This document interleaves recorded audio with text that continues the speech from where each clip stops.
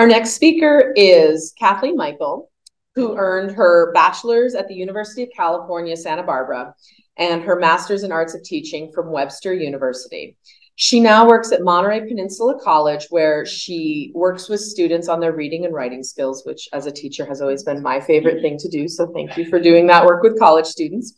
And she has a book coming out next year that I think many of you will be very interested in. It is called Working in Yellowstone, The Best Summers of Our Lives. And it is stories and photos from mostly young people who took summer jobs in Yellowstone and is the tale of how that really changed the course of their lives. It's coming out next year, so watch for it at the book exhibit at next year's history conference. Thank you. Good morning. Thanks for attending our session because I know you had other opportunities that were also very interesting. So my name is Kathleen and I'm a Yellowstone addict. I admit it. Uh, in the 1970s, I spent three summers working in Yellowstone. It had a huge impact on my life. And I went back in 2019 to try to replicate the experience. I worked in the same store, lived in the same dorm. And, you know, being 66 at the time, it just wasn't quite the same as when you're 18.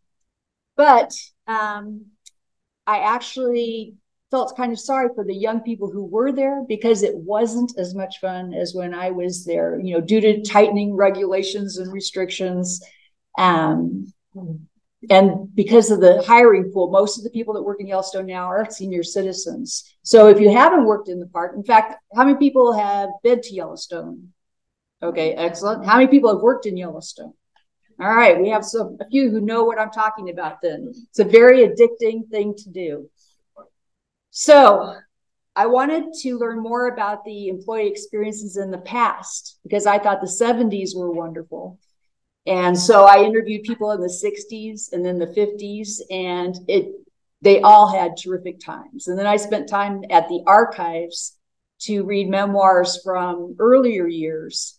And it had the same influence on a lot of us. We all, it changed our lives, made us more interested in Western things, you know, the whole cowboy thing, even though we were wearing our bell bottoms and, and halter tops, we still felt like we were we were Westerners.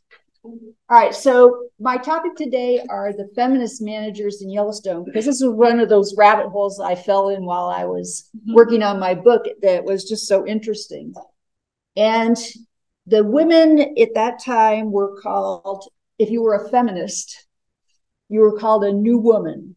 All right.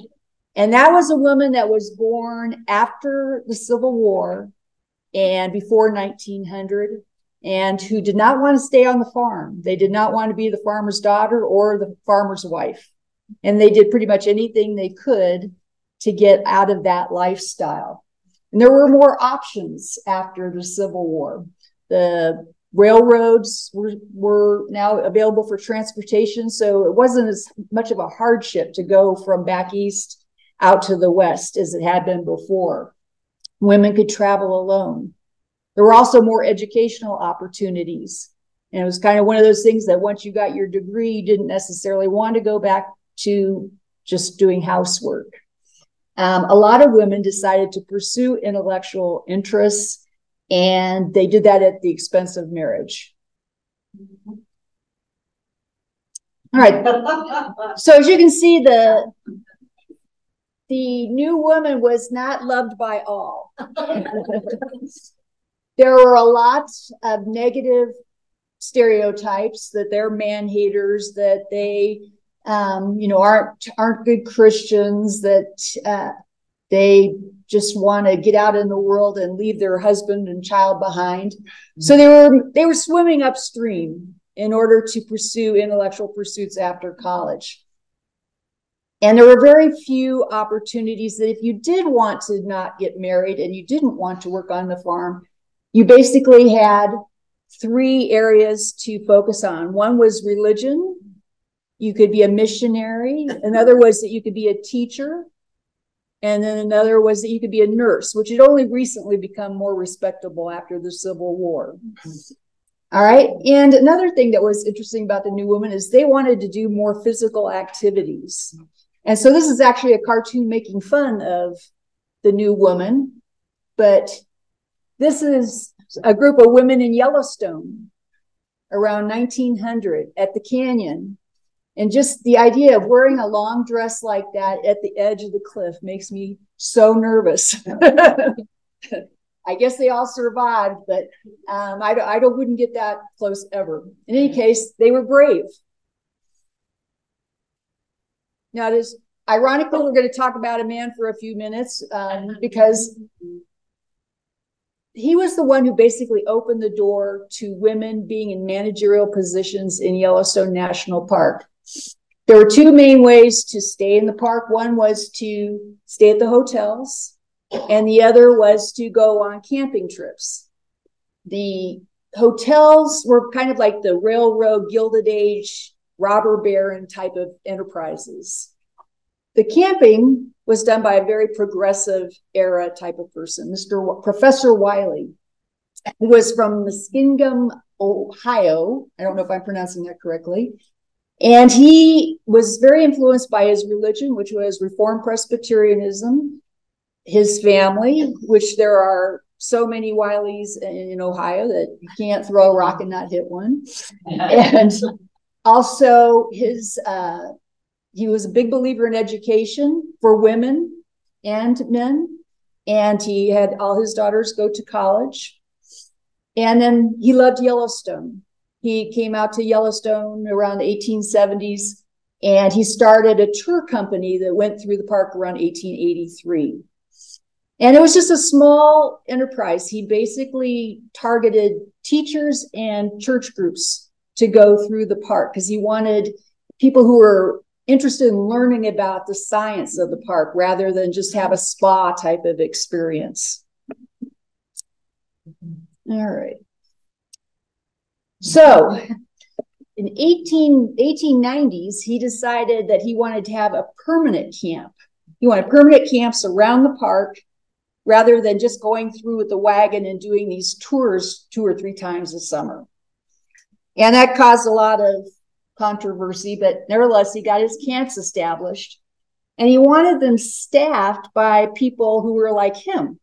And so the first thing he did was he hit up all his relatives and they ended up being the cooks, the drivers, the, the camp matrons and he wanted to make sure they were all of good repute. So most were Presbyterian.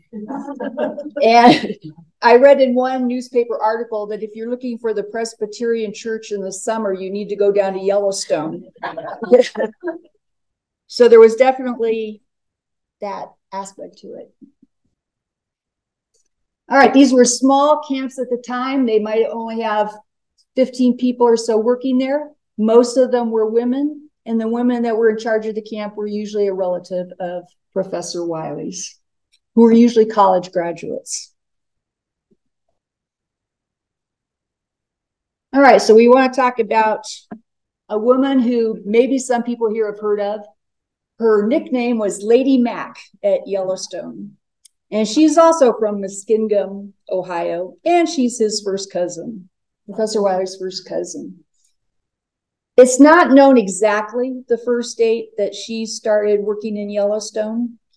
There's some contradictory primary sources that I found, but I did find that in 1892, she, who was at this time a missionary in Selma, Alabama, was up in Bozeman the first weekend of June with her sister, who was a missionary from Utah, and they were leaving the same week that the Wylie tour was leaving. So we can, I at least can assume, or I'll draw the dots to say that he was putting his cousins to work on the on the wagon trains going around the park by 1892. So this is interesting. This is a picture I found at the Yellowstone Heritage and Research Center. And I noticed this little school flag at Geneva College. And made me interested. You know, what's what's the connection between Geneva College? So I contacted the archivist, and Lady Mac had graduated from Geneva College. It's a, a college for Reformed Presbyterians. and so, guess who she recruited? this is from an album from one of her nephews who also worked at Yellowstone. All right, that is a picture of Geneva College. Um, I've had a really good experience with the Geneva College archivist because they did not know they had a Yellowstone connection. And come to find out, they furnished many of the managers and many of the employees for the first few years of the Yellowstone experience. All right, just a little bit more about uh, Lady Mack. This right here, where it says the P is the school for former slaves and slaves' children in Selma, Alabama. And that is where Lady Mack spent her winters. She taught down there. Um, from what I've read, of, I haven't read her account by her, but from what I've read from students, they were not well accepted in the community and they basically kept to themselves because Selma was still pretty hostile to people from the north coming down and, and helping African Americans improve their lot. All right. Lady Mack worked with Wylie until he sold the company in 1905. The company was then bought by A.W. Miles, who was a politician um, up in Montana, and he smartly employed her, continued to employ her during the summers. And you can tell that the crowds of people started to increase. All right. And they needed more employees. Um, they went up to about 700 employees a summer. So that's, she ended up being headquartered at Canyon. And the last that I can find uh, date that she was there was probably around 1934. This is a picture of her crew in 1930. She's a middle-aged woman in the middle or at least I think middle aged now. I just think she was old. but I, I love this picture because you can see the the wranglers, the waitresses. You know, this is a big. This is so much more than what was there in 1892. I mean, this is a big crew to manage. Plus, she was in charge basically of uh, reviewing all the applicants for all the camps. All right, here's a Montana. How many people have heard the last name Quaw? No? Okay, the Quaw is a big name in Belgrade. Uh, Thomas Quaw was the founder of Belgrade, Montana. And he had he was very he was pretty wealthy, very successful man. And so therefore his children had the opportunity to socialize in the best groups, and his daughter got to be the queen of the Sweet Pea Festival in Bozeman. Um, she and her mother ran the West Thumb Camp lunch station for Wylie's company um, from around 1902 to 1906. Her mother died and she just ran it herself. She graduated from MSU. Um, her brother ended up being a famous band leader, Gene Quaw, who had a band that played in Yellowstone. But um, she was a very interesting woman with a lot of accomplishments. She got into the film business and made films for the government and uh, was quite an achiever, besides being, you know, pretty. All right, here's a picture of the Thumb Station during the time when Mignon was managing it. You see it went from the camps to the more permanent buildings. Unfortunately, it no longer exists. All right, the next one we'll talk about is Elizabeth Johnson, Geneva College. she was a music teacher at Geneva and she ran what was called Geysers Camp, which was what we would call the Old Faithful area now. And she was there from around 1907 to around 1916.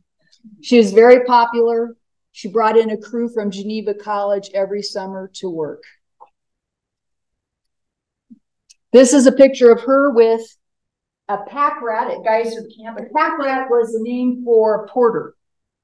And you see has a megaphone, which I think is kind of fun. Um, see kind of the tent cabins behind them. Um, there's a wonderful description of geyser camps written on a blog that you can find on the on the internet called "Be Blythe and Bonnie." and it's from a woman who was working at Geyser Camp that summer. And she talks about Miss Johnson and how they would steal food at night for their parties and things like that. So it's it's really a great read. All right, now we're going to talk about Anna Highwinkle. Anna is very special to me. She came from probably the most distressed background. She was a first generation American. Her parents were from Prussia. Um, she lived on a farm, and she and her older sister got their nurses training. And as soon as they got their nurses training, they were out of there. They were from Evansville, Indiana. And first they moved to California and lived in the Southern California area where they did nursing. And I'm not sure how they got to Yellowstone or why they got to Yellowstone, but they were she was there before cars. So she was there before 1915 and she was there until the 1930s. This is a picture of her later. woman right there. This is her with the opening crew for Old Faithful in 1924. Uh, she had many different positions in Yellowstone. Sometimes she was the head cook, sometimes she was the head housekeeper, and then she started managing the whole lodges. And uh, she was she participated in year-long activities for former employees. This is a picture of her oh. feeding the bears. This was a photograph taken by the Union Pacific Railroad photographer as an advertisement. This was the year when she was a cook at the lake complex. And she had just no fear. I have I was so fortunate. I found a relative of hers on ancestry.com and she was able to give me this is the original photograph and then we'll see this is what the postcard looked like. And as you can see they they even fixed people's images back in those days. She's she's a little bit thinner and a little bit younger. But i think it's just so wonderful to get to see uh, how her legacy is just frozen forever there.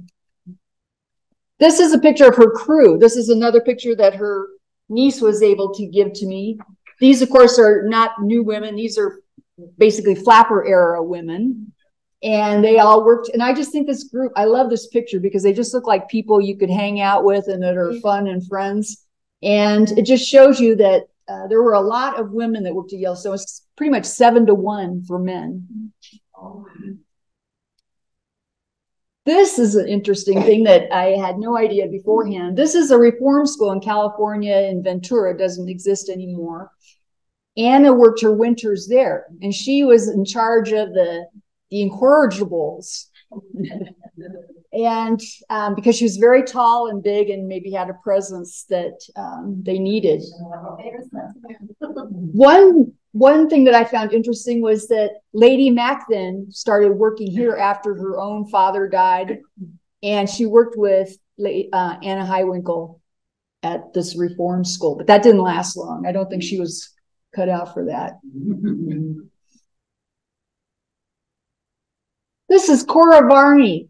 She was one of 12 children on her farm, and they didn't have money, but she kept attending semesters when she could at the University of Iowa. And while she was there, she started the Octave Thanet Club, which I had never heard of, but it was, was a feminist group that was anti suffrage that voting was below women because you had to compromise. And so she started that club, and um, but nevertheless, she was a frustrated businesswoman. She kept trying business enterprises, uh, but and trying to go to school, and she just couldn't do both. This is a picture of her in a store in Iowa. It's called the Golden Rule. Amazingly, she decided to move to Hawaii. She went for training at the YWCA to learn how to be the head of a YMCA chapter and took over the Honolulu branch. This is the Honolulu YWCA. It's called the Homestead.